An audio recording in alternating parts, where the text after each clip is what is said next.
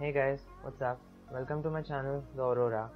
So, as we all know, there are many people around the world who use iTunes, and also they uh, and it happens that many people, many such people uh, own Windows PCs. So, I am uh, running a Windows 10 on my PC, and I have the latest version of iTunes downloaded from the Apple website so installing it is not a big deal. You can just download the setup from the website and just install it. Sorry for this. And uh, so as you can see the setup is here.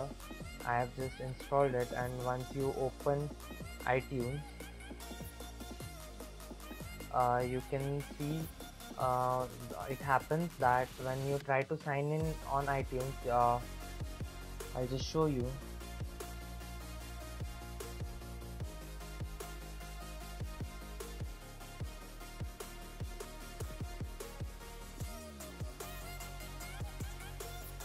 type in my apple id and then password. And you get an error saying verification failed. There was an error connecting to the apple id server. So you just click ok select cancel and i'll show you some ways in which the problem can be solved. So go to the search bar and type command prompt. Command prompt yeah you can see it there. Now uh, on the icon just right click on the icon and say run as administrator. So once you do that it asks for the access of the file say yes. And then uh, type exactly as I do here. Uh, so type net sh net sh without space. Then give a space bar winsock w i n s o c k. And then give a space and then uh, reset. R-E-S-E-T once you press enter you should get a command saying successfully reset the Winsock catalog. You must restart restart the computer in order to complete the reset.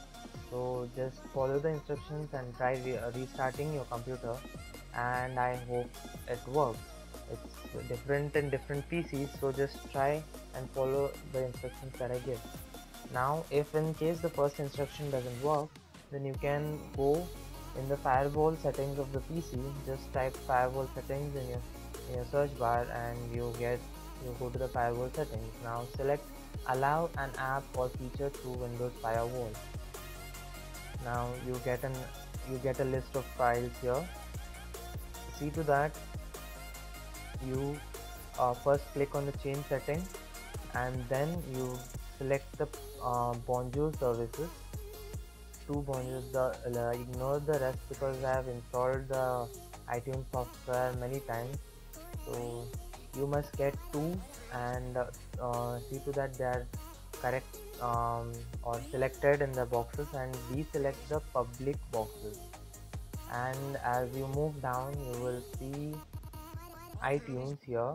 So see to that the iTunes uh, app is selected and then you also need to make sure that the private and public boxes are selected. So this is your firewall setting to run iTunes on your PC so this was the uh, firewall settings on your PC now in case even if the second instruction doesn't work then you can go for the third one which is uh, turn off your antivirus shield till you sign in. So what happens is uh, some antivirus programs consider uh, itunes as spam or they don't let you open it. So just uh, you need to disable the antivirus uh, program for a while until you sign in.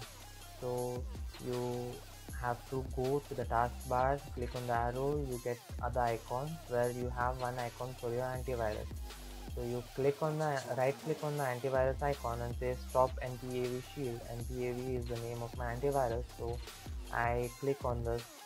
So it pops up as disable npav protection to which you say yes. So now that it is disabled you can open itunes and try signing in again. I type my Apple ID id and then my password. So sign in.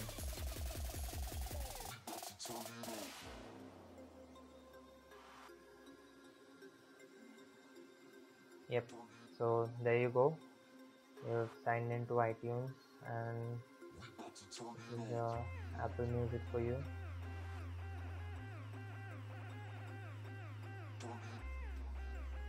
So it says there's an activity iCloud Music Library access, accessing iCloud Cloud Music Library.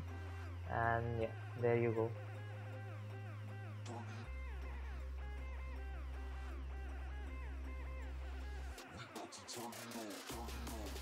So you click on browse yes everything is working. Source. Just a minute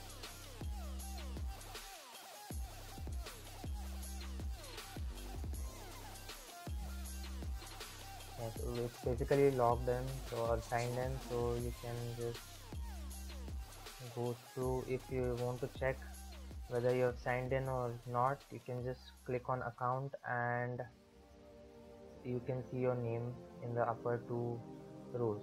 So there you go.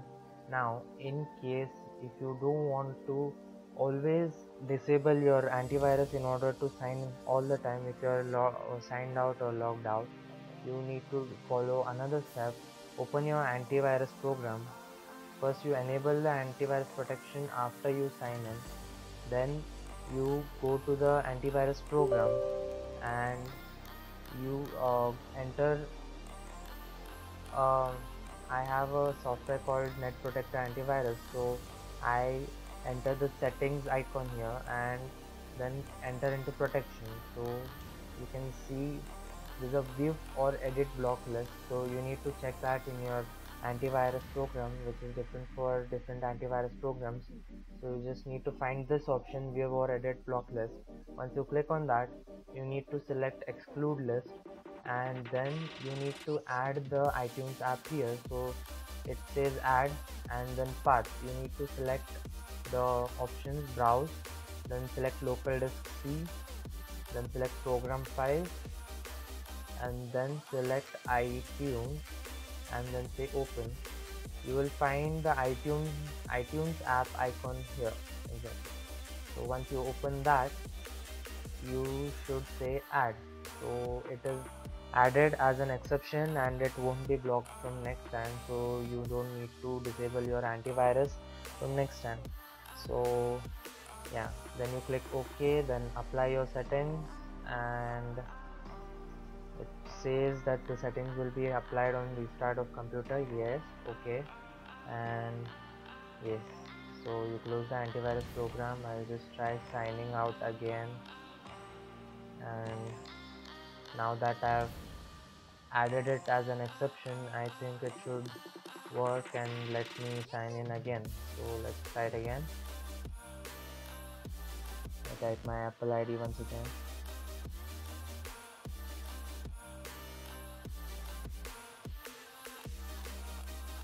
password.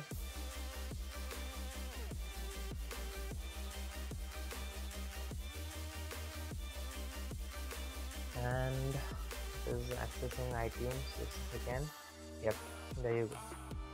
Boom. So if you like the video please be sure to drop a like and subscribe to my channel. And if you really want to help people with who are facing such problems just share the video and thank you so much